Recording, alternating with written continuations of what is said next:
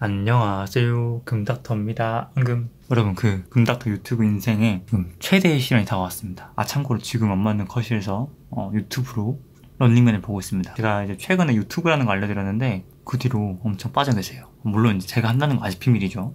지금 이제 방에서 몰래 찍고 있고 발소리 날 때마다 이렇게 지금 보고 있는데 오늘 야 금닥터 너 뭐 유튜브 하는 거 이런 거 아니지? 이러는 거예요. 그래서 어? 갑자기 뭔 소리야 아니 너 뭐 예전에 유튜브 한다고 했잖아. 환자랑 의사랑 거리 줄인다면서 유튜브 한다 했잖아. 뭐 하는 거 아니지? 이러는 거예요 그래서 제가. 에이 안해. 엄마 나 그런 거 안 해. 이랬죠? 엄마가 갑자기. 그래 어?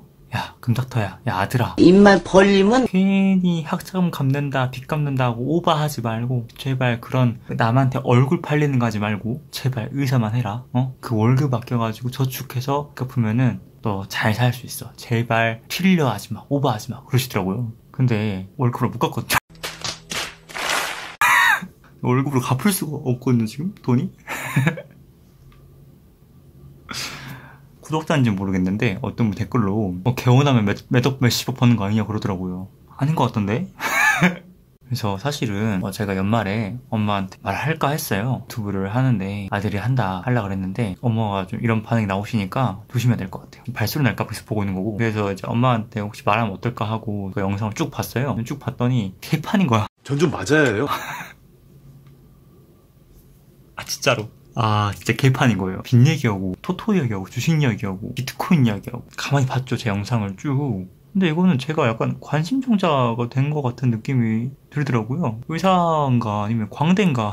아, 내가 막 의사 역할로 되게 잘했으면은 엄마한테 저도 말할 텐데. 아, 최근에 보니까 할머니 역할하고 있고 우리 엄마가 할머니랑 사이가 별로 안 좋거든요. 근데 그 말하고 있고 그래가지고 지금 엄마가 지금 알고 있는 게 많이 없거든요. 대다수의 부모님들이 착각을 하시는 게 자식들은 엄마가 제일 잘한다 이런 말을 하세요. 사실 제가 볼 때는 엄마가 제일 모르거든요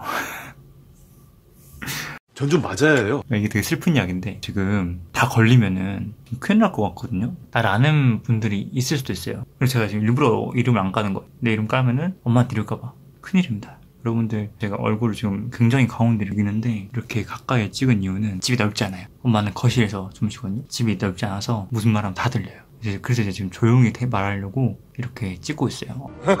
여러분들한테 좀 이런 영상도 제가 너무 좀 각 잡고 찍는 게 아닌가 싶어가지고 이런 좀 쓸데없는 영상도 자주 올리면서 여러분들 소통을 좀 하고 고민 상담도 좀 제가 해결해드리는 해결이보다는 좀 깝죽깝죽거리는 그런 시간을 가져볼까 합니다.